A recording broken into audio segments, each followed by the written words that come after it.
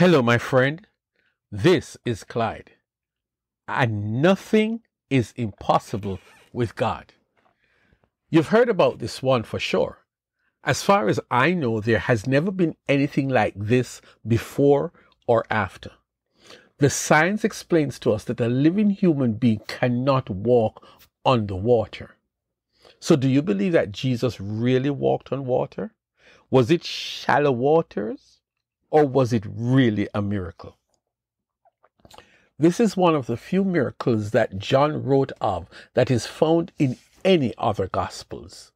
The writer of the book of John told us something interesting about Jesus. Jesus did many other things as well. If every one of them were written down, I suppose that even the whole world would not have room for the books that would be written. John 21 and verse 25. This is one of the most miraculous, or should I say, most dramatic miracles that Jesus did.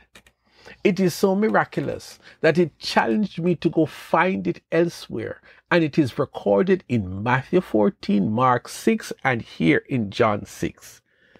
So, what really happened? All three accounts tell us that earlier in the afternoon, Jesus had fed 5,000 men besides women and children. And after the spontaneous bread and fish meal, Jesus dismissed the crowd and told the disciples to take a boat and sail over to the other side of the lake. Matthew and Mark tell us that he went up to the mountain to pray. John said something different a clue of what might have been coming next, if you please. John said by now it was dark, and Jesus had not yet joined them. How was he planning on joining them? Was it while they are still sailing across this great lake, or was he going to fly past them? Just questions, if you don't mind. Then it happened. They saw for themselves. Jesus came towards them walking on the water. Mind you, there was a storm at sea that night, and the boat was a great distance from land. It is in the midst of this storm that there was this unusual sight of a man walking towards or attempting to walk past them. Whatever it is, you will agree that someone was walking not in the water, but on top of the water. He was not on a life saving mission, but this one is indeed one for the records. This was a strange miracle, but can we just recall what constitutes a miracle? A miracle is an extraordinary event that is attributed to God. It is something that cannot be explained from a human perspective. A miracle is something that is impossible, and nothing is impossible with God, and so you can conclude that God is a miracle worker.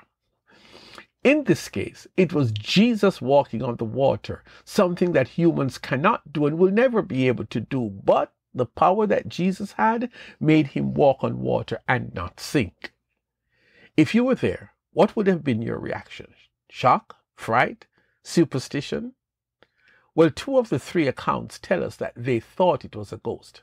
Of course, that makes sense because some of these guys, like Peter, Andrew, John, and James, were fishermen and they fished on this very same lake. And they certainly had never seen a human walking on the water and certainly not in the nighttime.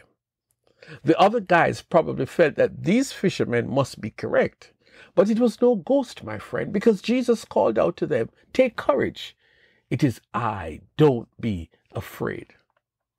What then? The Mark and John accounts tell us that Jesus joined them in the boat. Now, I know we're studying from John, the miracles that John wrote about, but allow me to borrow a piece of Matthew's story, which says, Lord, if it is you, Peter replied, tell me to come to you on the water. Come, he said. Then Peter got out of the boat, walked on the water, and came toward Jesus. But when he saw the wind, he was afraid and beginning to sink, cried out, Lord, save me.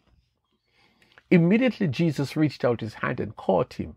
You of little faith, he said, why did you doubt? And when they climbed into the boat, the wind died down. Matthew 14, 28 to 32. Remember, we are talking about a miracle, something that is impossible for humans to do, but God does impossible things.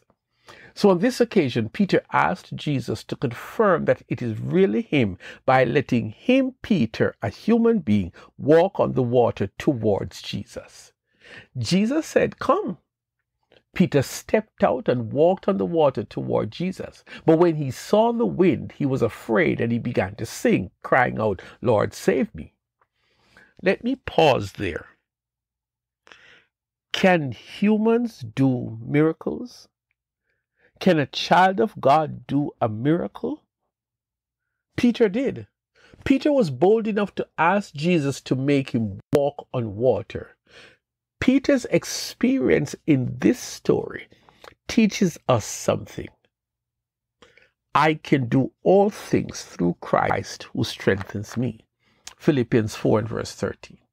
I believe that when we believe that Jesus can use us, that Jesus' power can flow in us, we can do miracles. But notice as soon as Peter started to assess the natural, the winds, he became afraid and he began to sink.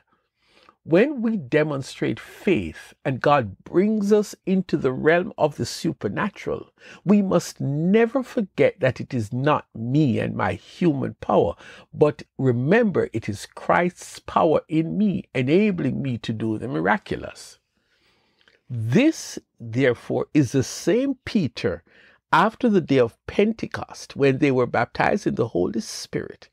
In Acts 3, Peter healed the lame man by saying, Silver or gold I do not have, but what I do have I give you. In the name of Jesus Christ of Nazareth, walk.